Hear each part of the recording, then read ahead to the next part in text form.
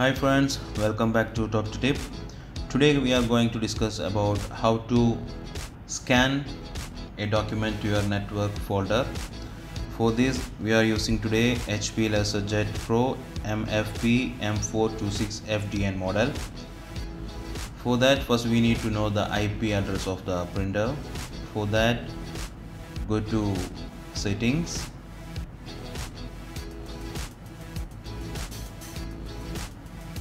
go to reports go to network summary then the printer will print the network summary report.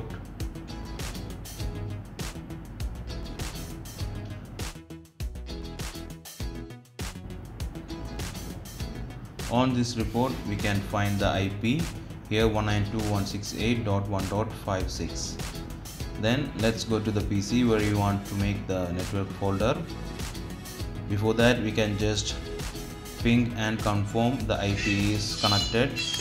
For that go to run type cmd enter. Just type ping space the IP address of the printer. See it's pinging. So the network connectivity is okay. Now let's go and create a folder where you want to get the scan document. Here I'm going E drive and already make PUR scan. Just go to properties go to sharing tab press advanced share click share this folder go the permission and give full permission. Press ok apply then you will get the path here. Just copy the path. Then go to any one of your browser and type the printer IP 192.168.1.56 just press enter. It will re redirect to the printer console page. Just go to scan tab. New. Here give the display name. Whatever you want to see in the scanner. Here I give Taufik. Then give the network path what we copied just before a while then type the username. You can get the username from the user profile. Write the username of the PC currently using and give the password for logging.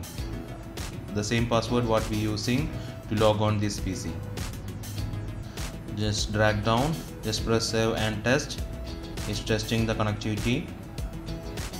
Here it also will check the password and uh, username credentials we are getting one error message. Let's see why this error message coming. This either there is any uh, problem in the username or in the password. So let's verify our username first. For that go to manage.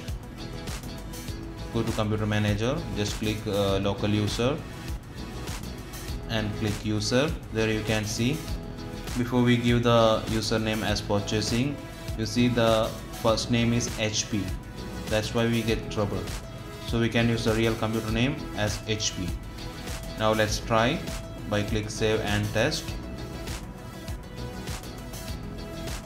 It's testing.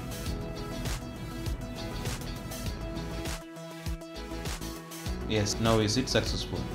Just press ok close and go back to the printer.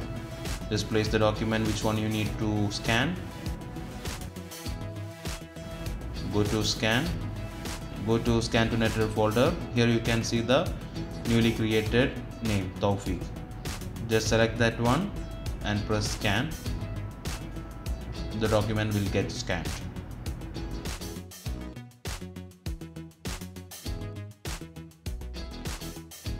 So we'll go and let's check this one came to our share folder. Spur scan. Yeah the document is came here. So i hope you guys enjoy this video.